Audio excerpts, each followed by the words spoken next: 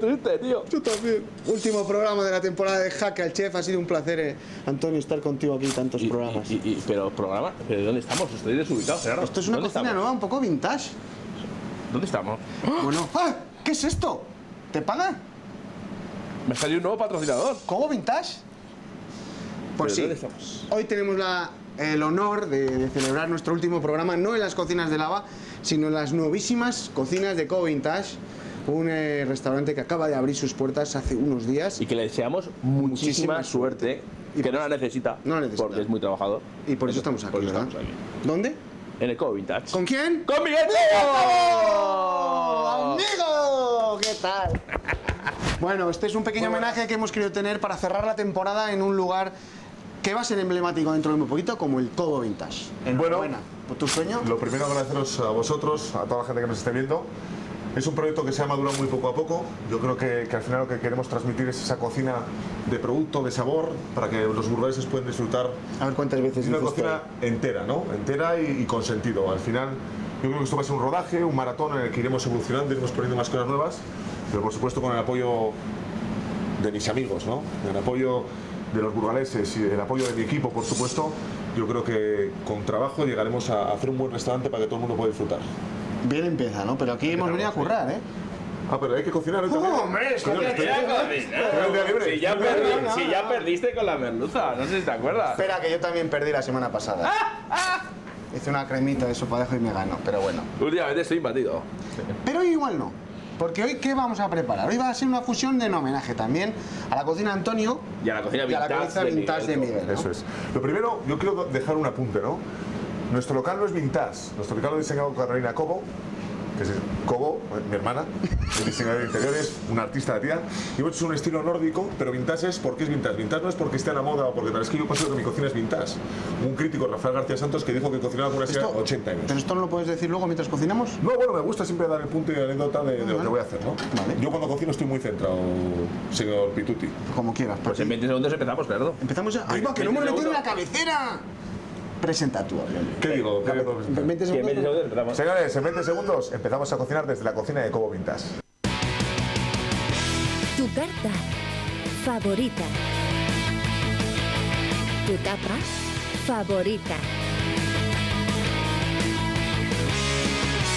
Tu terraza favorita. Restaurante La Favorita, en calle Avellanos 8.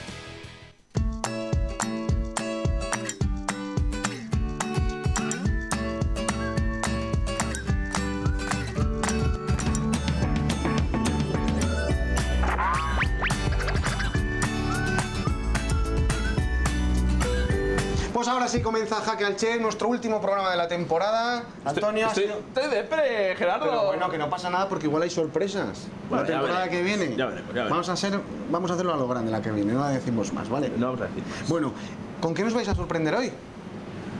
Pues eh, Antonio se, se quiere atrever, se quiere atrever eh, a, a- a- a dar un, un- un punto diferente a nuestra merluza, la Voy- merluza de Cobo Vintage. Con la reina de la casa. La reina de la casa es nuestra merluza, por supuesto, y, y, bueno, traída del restaurante El Vallés. Y lo que queremos es que, que, bueno, Antonio la va a transformar, la va a hacer ese punto más canalla, ese toque más divertido que suele hacer, y la vamos a acompañar con, con- con otra esencia que está aquí, ¿no? ¿Por qué vintage? Por nuestros guisos, por nuestros productos de siempre, y, y el acompañamiento que vamos a poner van a ser unas patitas de, de lechazo para que... Para La que cómo temporada que viene aquí puede ir su publicidad. Cobo Vintage. Oh, aquí. ¿eh? Eh, una cosa que se me olvidó decir, Cobo Vintage, de la mano de San Miguel. Oye, oye, oye. Bueno, bueno, bueno, bueno. Yo sé que San Miguel No me sabe nada, mucho, ¿eh? mucho. Acaba de empezar y no sabe Miguel, esto sale así. ¡Cae aquí! Venga, que vas a mezclar su fusión con la tuya. Se va a fusionar todo. ¿no? Lo que voy a hacer es aprender un poco de Antonio, como muchas veces he aprendido. Ya ha empezado, que ya ha empezado, que ya ha empezado. Dale, arregla, Baldomero. Ya ha empezado. El tío que va a hacer va a hacerse. ¿Qué te vas a hacer, Antonio? Cuéntanoslo un poco. Voy a hacer la merluza hoy a la sal. Pero a la sal y con un vapor de algas. A la sala al vapor de algas. Sí, lo que voy a hacer es poner una cama de sal Me y está una, jodiendo algas como para una boda. y ¿eh? una cama de algas. Escúchame, ahí van ¿Eh? 10, 12, 18. 15 euros, macho. Sí, sí. Saca algas, saca, claro. Lo que haga, lo que haga Hay falta. que decir que todo lo que se está usando aquí es de la, de la cocina de Cobo Vintage, que por lo que vemos usas mucho buen producto, ¿no? Eso indispensable. ¿Pero tú no curras o qué? Yo soy más de mirar y aprender. Y ahora No hace nada. ponemos la merluza aquí. La Qué raro que no hayas dicho merlucita. No, merluza, la vamos a poner al fuego alrededor de unos 16 minutos. La vamos a tapar y con el mismo vapor que suelta la sal y las algas vamos a hacer esta merluza tipo marinera, que luego la va a combinar Miguel con sus Patitas.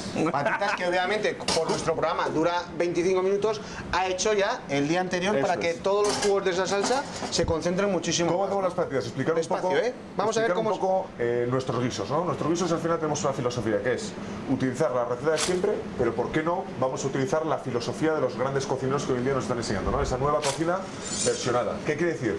Que al final lo que hacemos es una tradición renovada. Las patitas nosotros hacemos lo de toda la vida, ¿no? Todas las que estéis o todos los que estéis en casa podéis Despacio saber- para que apunten, ¿vale? Sabéis que hacemos lo siguiente, metemos agua, sal y vinagre durante dos horas para que todo el sabor fuerte del hechazo lo abandone. Seguidamente lo que hacemos es escaldarlas dos veces durante cinco minutos en dos aguas diferentes. Cuando ya lo tenemos, yo no concibo cocer las patitas, concibo el caldo para esas patitas. Que de ahí está la magia de la cocina de Cobo Vintage, de la mano de San Miguel, lo que vale, escucha. Ya vale, ¿eh? Sí, vale, vale, perdón, perdón. Esto no, verdad. Bueno, escúchame. Lo que entonces hacemos ¿Cómo es... sabe el tío en ponerse eh, de este lado, eh? Podía ponerse aquí Entonces- para ver a Basili. No, se pone así. No, Gerardo, pero estoy contento, estoy contento porque la verdad, no- hay mucha gente que me dice, pones en, el, en, el- en tu logo San Miguel, ¿no? Me han apoyado, voy a ser ahora Sí, su que- que ha- partner. que ha quedado claro, que ha quedado claro. Estoy muy contento con ellos, ¿no? La verdad es que me han tratado bien y agradecido a vosotros por la 8 Burgos. Bueno, entonces seguimos con el partido. Lo que hacemos es concebir un caldo y en ese caldo que metemos cebolla, pimiento rojo, choriceros, chorizo bueno, que lo utilizo de los finos, fantástico, y de hace carne también. es patrocinador No, nuestro. de carne da igual porque está dentro Jacache. Papada, sí. Que nos patrocina. Ah, Jacache, es que sí, es sí. que Arte Carne son los, los fenómenos también, ¿eh? Cillar de Silos también, ¿eh? Vale. Morcilla de Cardeña, la favorita. Para que veas que este programa ha triunfado, ¿verdad? Sí. Y por supuesto Telesaba. Lo que hacemos es meterle mucha verdura y luego mucho producto, distintos productos ibéricos adobados, ¿no? Eh, lo que hacemos es darle una cocción de unos 45 minutos Perdona, de presión. que te corté. Morro, echas un poquito No, de yo le meto oreja, le meto rabo de cerdo, le meto pata de cerdo, le meto chorizo, le meto papada ibérica, porque la papada tiene un contenido graso que me, me aporta mucho más suntuosidad al ¿Qué final te voy a contar yo de papada? De pa- Y luego pa- lo que hacemos- pa- pa- Bueno, tú que lo que ¿eh? hacemos una vez que tenemos todo ese conjunto, ¿no? ese caldo preparado, lo sacamos, sacamos las patitas y lo que hacemos es reducir, reducir, reducir, ¿no? y conseguimos el colágeno. El colágeno lo que hace es que cuando muerdas esa patita se te pegue y quede mucho más suntuosa en boca. Por otro lado, hacemos un fondo de cebolla y ajo. Todo lo que ha sobrado de la cocción se lo volvemos a introducir con las patitas de afuera y lo fondeamos todo. Metemos ese caldo de nuevo y reducimos. Y simplemente en la interrupción conseguimos potenciar. La gente echa chorizo y panceta. No, nosotros lo que hacemos es un aceite de ibéricos, consiguiendo un aceite súper aromático y súper profundo en boca, con un buquete y un retrogusto muy O sea, potente. o sea, que que todo, te gusta a ti un retrogusto. todo ¿eh? esto que nos estás contando simplemente es para meter 19 euros en la carta. No, 14 pavos en Covintas, fantásticas. Bien la ración. Ah, pues oye, merece. Oye, es muy, Miguel, muy barato. ¿eh? Miguel, venid, mirad, mirad, mirad, oled esto. Fijaros. Mirad, mirad, mirad, mirad, mirad. Huele a algas. Mirad, mirad. ¿Cómo se- Vamos a cambiar la versión de merluza. ¿Cómo se está cocinando, eh? La Cierra, merlucita. cierra ahí. La vamos a cerrar para que Todavía se le queda, todavía le quedan. A ver, Die- 16 minutos. ¿no? 16 minutitos. Seguimos con las patitas. Bueno, en Sí. todas las patitas ya teníamos, hemos dicho, tenemos el fondo, tenemos los caldos. eh, lo que hacemos es reducir, reducir, reducir. En vez de meterle chorizo y morcilla, yo- eh, perdón, chorizo y panceta, yo lo que quiero es que sepa patita. El mordisco tiene que ser la textura de la patita, esa gelatina, ¿no? Lo que le hacemos es eh, una infusión, un aceite, y ese aceite es lo que utilizamos mediante, al final, eh, un poquito de harina, un poco de pimentón, para ligar la salsa final. Y la salsa final vais a ver ahora cómo nos queda. Está aquí, bueno, la- esto, al tener un contenido muy alto de colágeno... tierno, claro, claro. Es toda la grasita, ¿no? al tener un contenido muy alto de colágeno, eh, están unificadas. De todas maneras, yo O esta sea, que esto simplemente lo que haces es eh, ir a una de las fábricas importantes de Burgos, como es L'Oreal, y coger colágeno, echarlo ahí y ya está. Con voy a L'Oreal, cojo colágeno y señor, si no, alguna señora que la vea ya un poco mayor, la voy quitando un poquito de colágeno. Y punto, ¿no? Por eso das tantos besos a las abuelas. Sí, sí, la, la paso ahora mismo cuando voy a quitar colágeno. Pero tú te has fijado, eso cuando te lo comes y lo coges con los dedos, Te- Se te queda pegado, ¿verdad? ¿eh? que eso es la esencia de la cocina de Miguel. claro, has cogido ¿Eh? la esencia esa. de Oye, que una cosa, te- escucha, voy, voy. Que se te quedan los dos pegados como cuando te decían cuando eras chaval y fumabas, ¿no? Que te decían, eh, fuma, has comido pollo, ¿no? Yo nunca he fumado.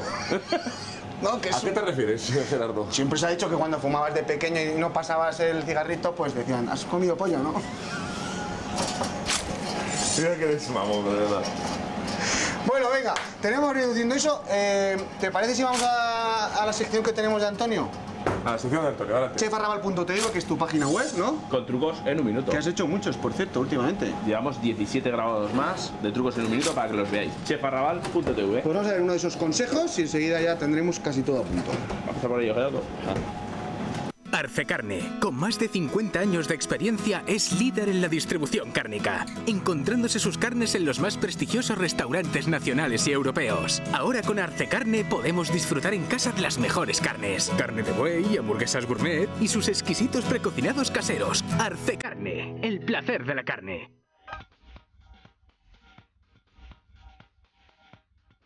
Hoy, en Trucos en un Minuto, os vamos a enseñar a cocinar y pelar una de las joyas de temporada, que es el espárrago blanco. Como veréis, cogeremos el pelador y lo pelaremos para quitarle bien la hebra. Lo iremos limpiando. Hay que hacer tres o cuatro pasadas para que el espárrago te quite la hebra del principio. Lo limpiaremos así ¿eh? y como he dicho, le daremos otra pasada más para quitar esas hebras que luego a la hora de comer son tan molestas.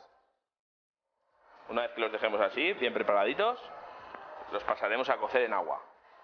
Fijaros, vamos quitando, vamos quitando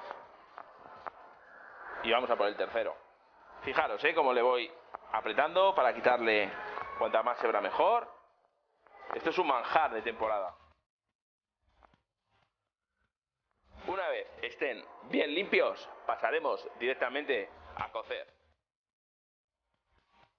Los meteremos en el agua, en el que por cada litro de agua habremos puesto 25 gramos de azúcar y 15 gramos de sal.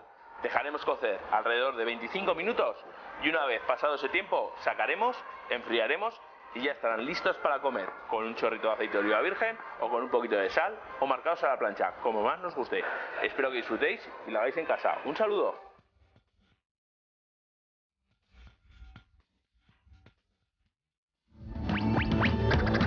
Bueno, que además hoy es un día muy especial, Antonio, ¿eh? Oye, no solo nosotros tenemos competencia, ¿eh? una competencia feroz que acaban de venir a... a- ¿Qué, bueno, a ¿qué ver, nos graban a dos cámaras hoy? Hoy, hoy esto, bueno, a dos y las que no ves que hay Oye, una mini cámara ahí, otra ahí y otra ahí, ¿eh? ¿Cómo vas? No has sobrado, ¿eh? Aquí Bueno, no- esto es ¿Cómo la vas? gente ¿Cómo vas? ¿Cómo vas? ¿Cómo vas? ¿Quién ha venido a verte hoy?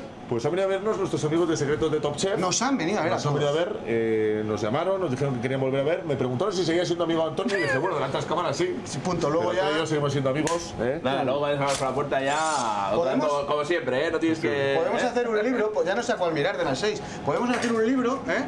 De todos los secretos que todavía no podemos contar, como por ejemplo cómo elabora el Starluz de casero de...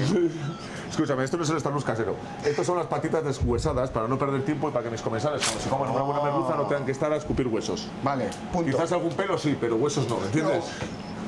El Starluz casero también lo hacemos. Nosotros trabajamos en Starluz Por casero. eso lo digo, porque quería darte publicidad de, de tu concentración de- del jugo de ¿Te carne. traigo uno de un segundo para que lo vean o no? Venga, va. aquí. Pero mientras, si quieres, ¿qué hacemos? Adiós, Miguel, ¿eh?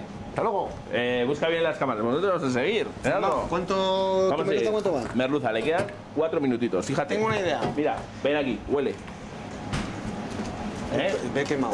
A ver el punto, a ver el punto. La tenemos ya. Huele a- Además, La escúchame. tenemos ya. Mira, mira. En Como Vintage no fallamos, porque para medir la temperatura tenemos un termómetro para ver justo cómo la ha dejado Antonio. Si está entre 38 y 45, la tiene al punto. Mira, tira. Escúchame, ya deja Vale. de decir como vintas, que ya lo hemos visto 20 veces. Mirad, esto es lo que yo os hablo. Esto el es lo que jugo nosotros, concentrado, el Starluz casero. esto es lo que nosotros hacemos para potenciar todo nuestro calor. En el caso de las patitas usamos esto. Qué maravilla. Son los colágenos puros donde vamos a conseguir potenciar y sacar el sabor máximo, máximo, máximo, máximo de nuestro producto. ¿Qué quiere decir? Que en vez de trabajar 3 horas, trabajamos una media de 16. ¿Y sabes quién os lo puede contar eso? ¿Cuántas horas trabajamos? ¡Basili! ¡Basili! Acaba Basili. de llegar Basili, eh, de lleva- cocina. Que está un poco ya. Oh, Dice, Hoy parece esto el camarote de los hermanos Mars. ¿eh, esto es igual. Pero claro, después de trabajar tanto este fin de semana, ha dicho, pero encima tengo que limpiar. Sí, Basili, tienes que limpiar. Me ha tocado. Te ha tocado. Bueno, Basili, ¿qué tal tu experiencia en Como Vintage? Acércate a Solo lleva una semana. Yo esta semana no me ha dado tiempo ni a reflexionar de lo que estoy haciendo porque es que no me da tiempo ni a nada. Pero bueno, ya veis que como vintage No, la oportunidad de... ¿Cómo, ha- cómo ha aprendido a meter la, la Escucha, iba conmigo, Pero San Miguel, San Miguel, llegó siendo un chaval conmigo. San y con está aquí. 24 años es mi segundo en cocina, mi mano derecha. Aparte, bueno, tenemos un equipo con Diego Barboya, un excelente, Alba, Estefanía, eh, tenemos a Paula y por supuesto a Isaac Montoya, que es un artista. Y la verdad que, que estoy agradecidísimo. Sin él no sería posible poder hacer todo lo que hacemos aquí. Invitamos a todos los burgaleses a dónde? A venir a Cobo Vintage para disfrutar. ¿Otra de vez? ¿Otra vez? Bueno, Basile, ya te puedes ir que hoy es lunes y descansas. Chao, pescado. Venga, esto en 20 segundos empezamos ya a darle caña al tema. Vale. Bueno, señores, entonces ya tenemos nuestras patitas de siempre con nuestro jugo. ¿no? Lo que hacemos es colarlo porque queremos dar un toque más refinado. ¿Vale? Tenemos las patitas ahí cocidas. Lo que vamos a hacer, bien ¿qué huele, hacemos? qué Quitamos y para adelantar tiempo, esto es televisión, vamos a meter nuestras patitas ya completamente Que es lo mismo pero deshuesado. Es lo mismo pero es huesado. Es decir, cuando las patitas, yo normalmente hago patitas donde limpio todo el hueso, dejo solamente lo que es el centro de la patita, ¿vale? Dejaría esta parte. Aquí llevo otro hueso grande y esta sería su carne. Eh, ¿Qué hago? Cuando pongo estas raciones, simplificar. Lo deshueso, lo meto aquí y ahora lo que voy a hacer es, relacionando el fuego, vamos a sacar ese colágeno y esos colores que hablamos, ¿vale? A la hora de hacer. Los ponemos aquí. Oh, qué bien huele. Ya reducimos y que se suelte ahí. Ahora me gustaría saber la opinión de Antonio, que eres el copresentador. Voy a probar. Ah, va, claro, va a probar. Igual se cierra la boca porque el puedes decir hace que nada. se cierre. ¿No puedes decir nada?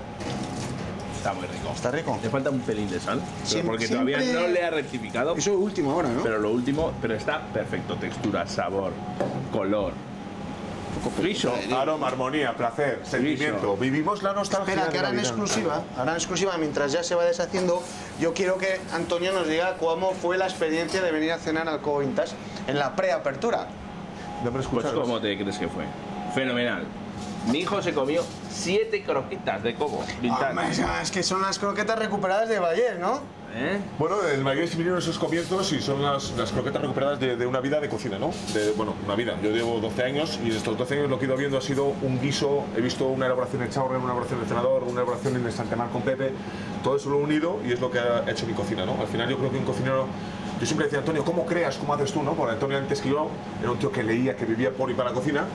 Y, y yo todo ese camino ahora lo he ido uniendo y al final ya digo, esta es mi cocina. ¿Por qué? Porque son las experiencias que he vivido, que recuerdos, ¿no? Como cocinero. Y al final eso es lo que se transmite en los platos y lo que voy a intentar transmitir a mis clientes cuando vengan aquí. Qué bonito, ¿eh? ¡Os quiero! Que no está... ¡Os quiero! Desde 1925, embutidos de Cardeña, la morcilla tradicional de Burgos, adaptada a nuestros tiempos.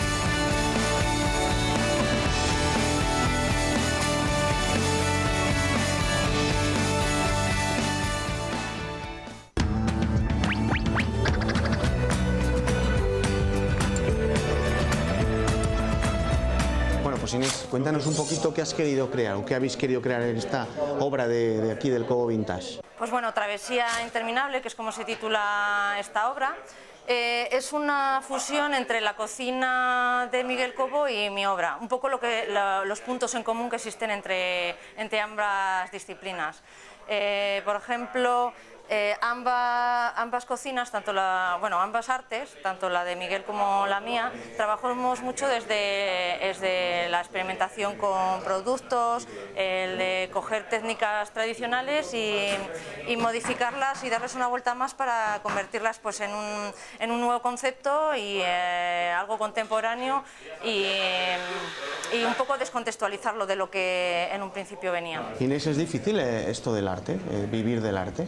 Pues la verdad que sí, más ahora en los tiempos en los que, en los que estamos, la verdad. Esto puede Pero ser- bueno, Esto puede ser también una, una especie de lanzadera, ¿no? A toda la gente que viene a comer aquí, que va a venir a comer aquí, que pregunte por, por tu arte, ¿no? Sí, claro. eh, realmente pues, es una obra que está expuesta a, muchísima gente, ya que está sacada un poco pues, del- de los espacios que suelen estar las obras de arte.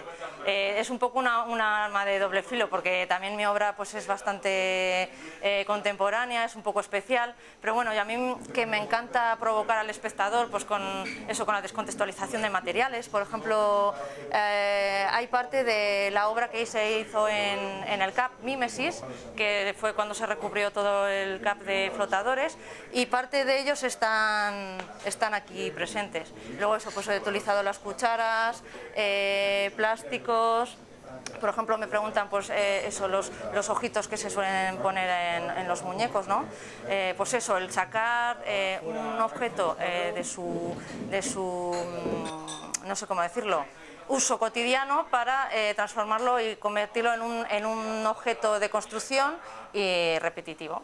Pues sí, muchas gracias y mucha suerte en esta nueva andadura. Vale, muchísimas gracias. Gracias.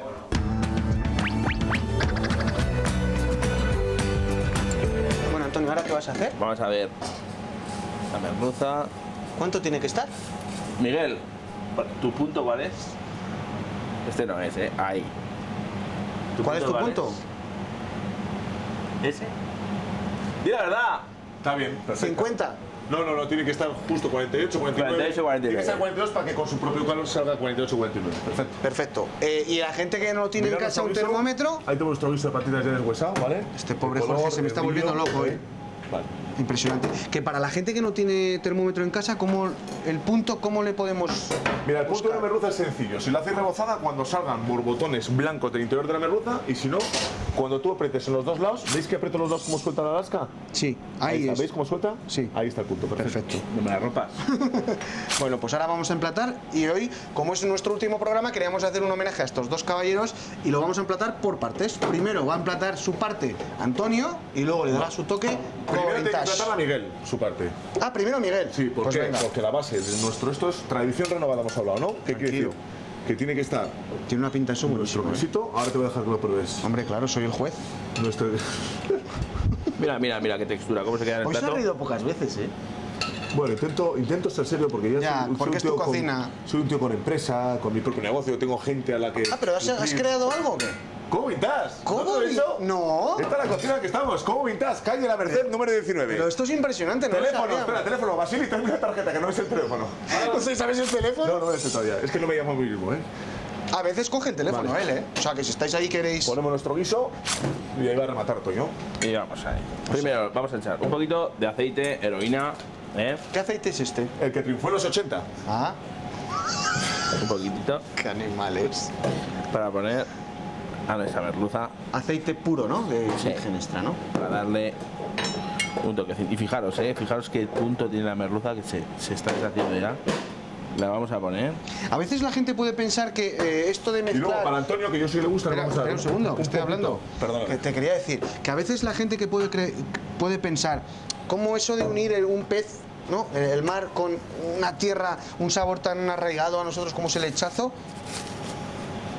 Pues al final, mira, la, la merluza tiene un sabor bastante neutro, es unos toques yodados, pero que vas a lo que vas a conseguir aquí es un plato en el que te va a potenciar el sabor a Castilla, un recuerdo a Burgos y a su gente.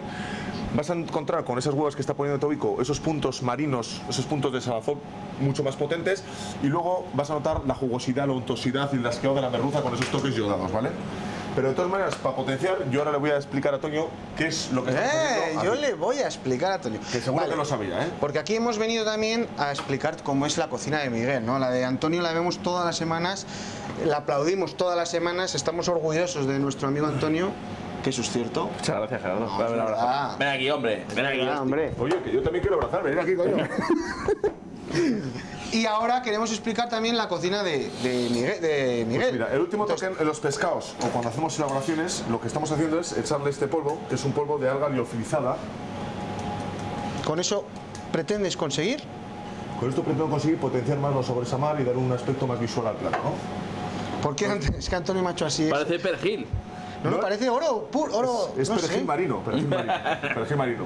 Y este sería al final un poco la base para que la gente entienda de nuestra cocina, de Cobo Vintage, de este nuevo proyecto en el que estamos ilusionados, en el que Antonio participa siempre porque al final es quien, quien- Oye, Antonio, ¿qué? el No sé. compañero con el que hablamos, al que le llamo, el que, el que me recomienda bien. Espera, espera, que hay este que darle el toque vintage.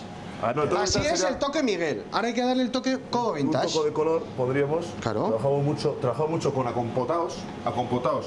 ¿Qué más suena eso? eh? Sí, no, los acompotados tenemos de dos partes. Tenemos acompotados frutales para dar un toque de dulzor siempre sin llegar a empalagar y acompotados vegetales. En este caso tenemos una monesa de ajo negro, le ponemos una monesa de pera y remolacha para dar un toque afrutado. La remolacha combina con el sabor a tierra del cordero y el ajo negro combina con el sabor a pescado que tenemos en la merluza. Pues yo quiero ahora aplaudiros porque eh, esto que estamos viendo aquí es una creación que se ha hecho en exclusiva para Jaque al Chef. ¿De quién? No, no, de los dos. ¿Por qué? Hemos querido... Claro, joder, de, de los dos. Sí, claro. No, me quería decir que hemos querido fusionar sus dos cocinas. Entonces, hasta cuando hemos venido a grabar, ellos no sabían lo que iba a hacer el uno lo que iba a hacer el otro. ¿Es cierto? Es cierto, Así es. como siempre. Y en cinco minutos nos hemos puesto de acuerdo para crear, pues obviamente la merluza. Es muy fácil. Lo contradicción. La contradicción. Así vamos a llamar el plato. Contradicción, ¿por qué? Porque uno hace tradición y otro hace lo contrario, la evolución. Mi sueño sería que uno de los dos en su restaurante pusiera esta merluza con el nombre de merluza Chef. Pues es más, En el yo menú- desde aquí, escúchame, desde aquí, el primer menú de degustación que Cobo haga en su restaurante, Pero primero le tenemos que probar, a ver el si vas... primer plato, no, no, yo, yo estoy, doy fe absoluta de este plato. El primer menú de degustación que Cobo haga en este, pla- en este restaurante, en Cobo Vintage, va a hacer un homenaje a Jaca Chef con esa merluza porque es un plato digno de poner en cualquier restaurante. Es impresionante. Gracias por venir, señores. Nada, para nosotros ha sido un placer, ¿verdad, Antonio? Por supuesto. Ha sido un placer estar aquí en Cobo Vintage. Te deseamos toda la suerte del mundo. No la necesitas, lo hemos dicho antes, No ¿verdad? necesitas. Un trabajador no necesita suerte. Porque creemos que, que tu sueño, uno de tus sueños se está cumpliendo ahora, ¿no? Que es la creación de tu casa. Eso ya es. todo el mundo va a poder ver tu cocina y a ti. Antes igual no te podían ver, ahora sí. Es una pasada, salir a las mesas, el hablar con la gente, el, por supuesto los primeros días, el rodaje, conocer el equipo, ¿no? Pero, pero está siendo maravilloso, está siendo duro, pero dicen que está con gusto no pica y la verdad que, que al final lo que estoy encontrando es algo fundamental en la vida, que no es ni el dinero ni, ni, ni, ni el ser el mejor, sino la felicidad, ¿no? Para mí es fundamental y gracias a este restaurante, a mi equipo y a toda la gente que me está apoyando lo estoy consiguiendo. Bueno, y ahora, Antonio, ¿qué tal? ¿Cómo ha sido esta experiencia? Muy buena. La De verdad. copresentador. De copresentador. Dura también, ¿eh? Ojo, ¿eh? Muy dura grabar Jaque al Chef, pero un equipo maravilloso, el de la 8 Burgos, encabezado Bueno. por Gerardo. La verdad que me habéis tratado fenomenal. Esperemos vernos el año que viene otra vez en al Hay- Chef. hay proyectos ¿eh? muy importantes, Y ¿verdad? eh, que me lo he pasado genial. Hemos disfrutado cocinando. Han venido muchísimos cocinillas a disfrutar de nuestra cocina. Yo creo que hemos hecho grandísimos platos en esta temporada. buenos. eh, muy buenos, con muy buenas puntuaciones también. y que seguiremos haciendo más y más y más. que esta ha sido la primera temporada, entonces todo nos ha pillado tan de sopetón, pero os prometemos que la siguiente va a ser mejor, vamos a tener intentar tener un jurado de verdad cada semana, porque queremos que, la que el año que viene, si hacemos Jaque al Chef 2, Porque nosotros aprendemos siempre. Sí, sí, mucho. Siempre. queremos que haya un premio muy importante para un ganador, porque estamos apostando mucho por este proyecto. A ver si te podemos pagar algo. Bueno, bueno, to- todavía bueno, está- no. estamos negociando No ya a tu final de niño, temporada. pero, pero vamos a intentarlo porque también queríamos de- decirlo para que veáis lo humilde que es este hombre.